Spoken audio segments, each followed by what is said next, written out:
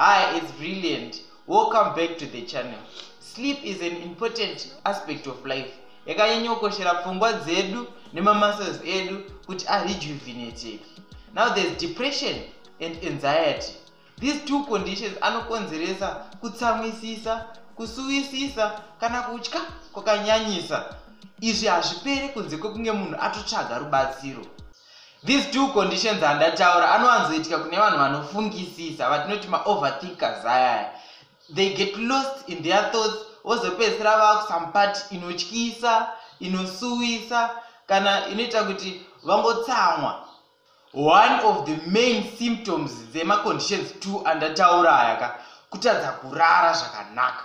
In these times of covid-19 munhu akangokosora akangohetsura atoworried akutotriga depression akutotriga anxiety. Saka iwewe waakuenda pawhatsapp waakuda kutsvaga more information about these conditions. Waakuwana machain messages. Dzimwe nguva anenge achinyeba dzimwe nguva anenge achitaura chokwadi but zvoramba zvichitriga anxiety yako zvoramba zvichitriga depression. Nawo waakutadza kurara waakungoshanyarika in bed uchitya kuti maiwee ndaakufa o hameno zvaunenge uchitya your fears there is a very strong relationship between lack of sleep and depression. Vana mazvikokota ana chiremba vanorapa vanhu vakaona kuti une condition iyi. Vane mapirits avanokunyorera kuti unwe anonzi maantidepressants. Asi mapirits aya semapirits ose ariko zvawo anewo anonzi maside effects zvinhu zvatisingatarisiri zvinogona kuitika kana wamanwa. Uye anongorapa zvaonekwa ipapo atoti masymptoms asi chikonzero chakonzeresa kuti utadze kurara chinosara chiripo. Chikonzero chakonzeresa kuti utsamwe kana kuti usuwe zvakanyanyisisa chinoramba chiripo. Chakanyanya kunaka kurapa chikonzero. Chikonzero chaita kuti utadze kurara chikonzero chaita kuti uite depression.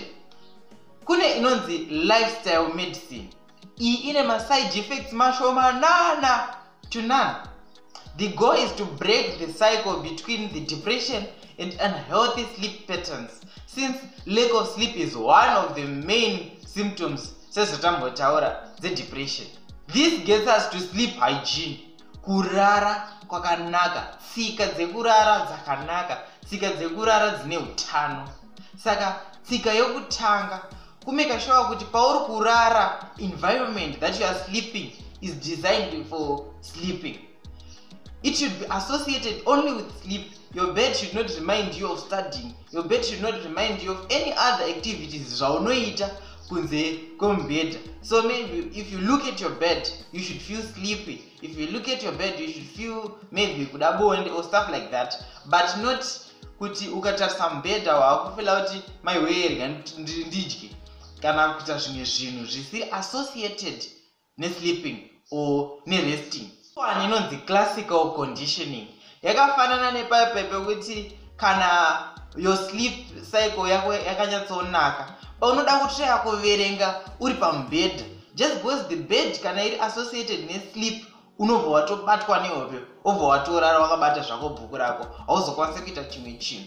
Even vamwe vanhu pavanodya vakagara pamubhedha paanotozopedza kudya anenge atobatwa nehope kudhara. So izvozvo ndo zvatiri kuedza kutaura kuti the bed should be associated nemasleep and rest practice.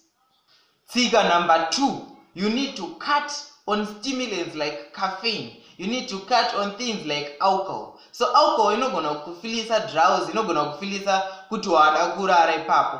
But ameno chemistry dzacho nemafambiro adzinoita ndeyekuti kuma33 o painongopera mumwiri mako unobva wamuka so uchaona kuti unogona kuita 3 hours wakarara but then obva wamuka waakutoshaya hope starting ipapo.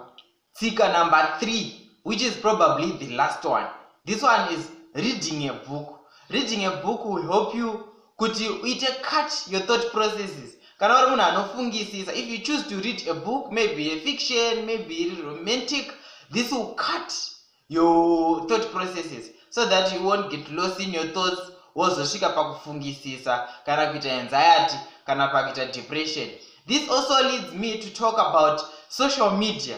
You should use social media selectively. Don't just take everything even zvinhu zviri negative.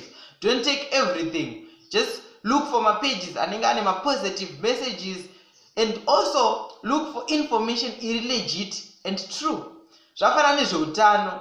Its recommended kuti uende pawebsite yewho nekuti ndo inobuditsa tsvakurudzo dzakaitwa nana mazvikokota vanyatsori certified kuti vanobuditsa chokwadi. Kwete kungoti chero zvawanzwa pawebsite pa yamusiyanwa then you take it on wakutoramba uchitoti this is true this is what i'm going to use. At the end of the day unozopedzera wane anxiety unopedzera wane depression unopedzera wakutadza kurara. I am willing to bet with you. These lifestyle changes will help you with depression and anxiety it will help you to improve your sleep hygiene and your mood. I've been brilliant smoke. You've been the viewers. Thank you very much for watching this video. Don't forget to subscribe. See you next time